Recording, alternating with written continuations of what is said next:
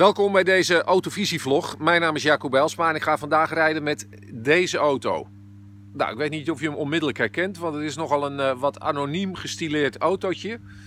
Maar het is de Ford K+. En dan zeg je misschien, wat, wat is de K+.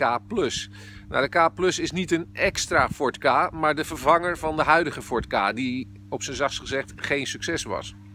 Die was drie deurs, deze is vier deurs. Deze is gebaseerd op de Ford Fiesta en dat is een hele goede basis. Een van de fijnst rijdende B-segmenters. Zo driekwart van voren is het best een aardig autootje met die eh, kenmerkende Ford grill. Daar herken je hem zeker als uh, een product van uh, de Blue Oval. En met die basis is zoals gezegd ook niks mis. Maar maak je het rondje af, dan transformeert hij wat mij betreft opeens in een heel erg anonieme Aziat. Zou zomaar een Suzuki, een Hyundai of een, nou ja, you name kunnen zijn. Maar in ieder geval zeker geen duidelijk herkenbare Ford meer. Ja, zo op het eerste gezicht uh, maakt hij op mij een beetje een budget indruk. Met die kleine wieltjes, zonder ornamenten, weinig luxe uitstraling. Eigenlijk een basic autootje voor 12.990 euro dus. Laten we eens aan de binnenkant kijken hoe die er daaruit ziet. Achterin valt het helemaal niet tegen. Mijn eh, knieën blijven vrij van de voorstoel. Nou, ik ben 1,90 meter, dus dat is een behoorlijk goede score.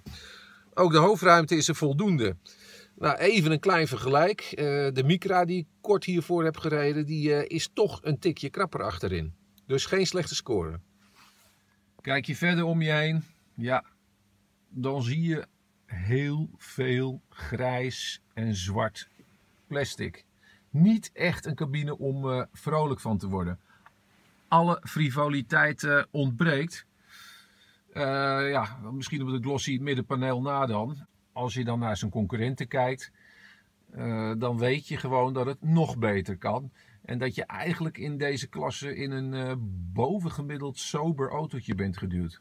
Een Ford Fiesta basis. Als je dat zegt, dan uh, weet de kenner dat uh, je mogelijk te maken hebt met een bovengemiddeld goed rijdend autootje. Want zowel de Fiesta als de Focus zijn allebei bovengemiddeld goed rijdende auto's in hun klasse.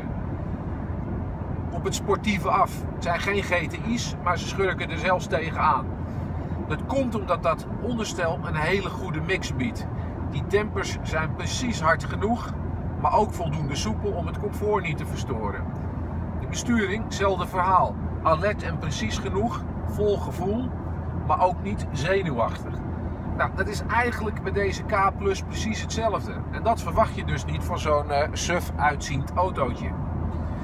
Die 1.2 viercilinder die uh, presteert in deze 85 pk versie ook goed. Uh, je hoort hem een klein beetje als je accelereert. Dan is hij een tikje luidruchtig. Ook een tikje rauw. Er zijn fijnere uh, machientjes. Ja, die vijfbak geldt eigenlijk hetzelfde voor. Niet heel bijzonder schakelen, maar goed genoeg. Niet te lange slagen. Voldoende duidelijk gedefinieerd. Waar is Ford mee bezig, vraag ik me inmiddels af, nu ik wat langer in deze Ford uh, K Plus rondrijd. Eigenlijk geeft deze auto hetzelfde budgetgevoel als die uh, EcoSport. En dat was ook echt een uh, Ford waar je liever niet aan terug wil denken. Hij is niet voor niks in korte tijd een paar keer uh, aangepast om toch het niveau in Europa te kunnen halen. Nou ja, deze K Plus wordt in dezelfde fabriek in India gebouwd. Steekt wel een stuk beter in elkaar. Is rammelvrij. Kunststoffen passen goed. Maar hij geeft je nog steeds een budgetgevoel. Zeker als je dat vergelijkt met een Fiesta of een Focus. Die zijn echt een level hoger. En dat is gek. Dus het lijkt er bijna op dat Ford met zijn uh, goedkoopste modellen een soort Dacia-koers aan het varen is. Een budgetlijn. Uh, ja, en of we daar nou blij mee moeten zijn en of dat nou een garantie is voor succes, dat waag ik ernstig te betwijfelen.